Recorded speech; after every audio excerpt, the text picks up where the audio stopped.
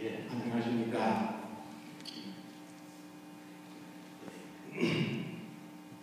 교회 창립 30주년을 다시 한 번 더 축하합니다. 그리고 하나님께 감사의 박수 한번 올리시죠.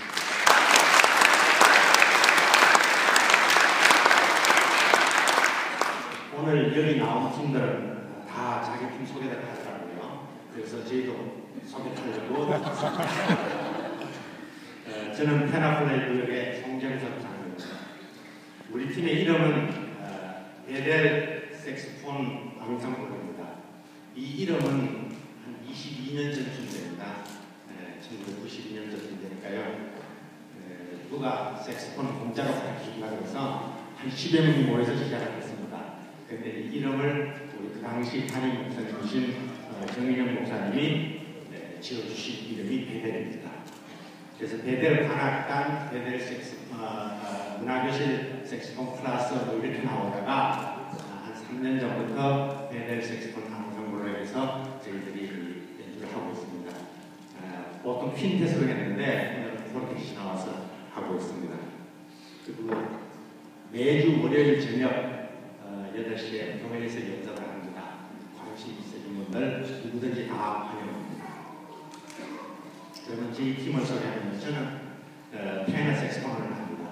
그리고 저희 옆에 네, 알토 색스폰의 안영주 집사님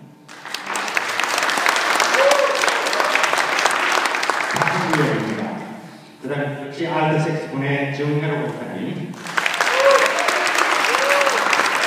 최상구입니다. 그리고 바리톤 색스폰의 이 학규 집사님 원래 방송하는데 오늘은 곡에 따라서 알토 색스폰을 가지고 나왔습니다. 알토 바리톤 다 잘하십니다. 구역은 이정입니다.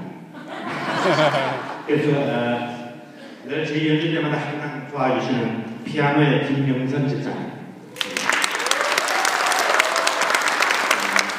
월드테판 제2구역입니다.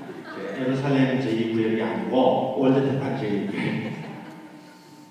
네, 그래서 나와서 지금 마지막 곡으로 그날을 연주하려고 하는데요. 네, 이 곡은 네, 터키 민요입니다. 네, 여러분들 잘 아시다시피 터키라는 나라는 네, 옛날 고구려하고 동맹국인 돌거리족이 세운 나라입니다. 그래서 우리를 항상 형제국으로 생각하고 있습니다.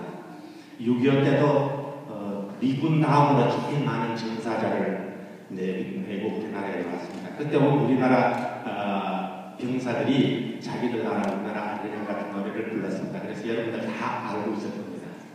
그래서 그 노래를 어, 마지막 곡으로 곡으로 드리겠습니다. 공명은 무섭더라.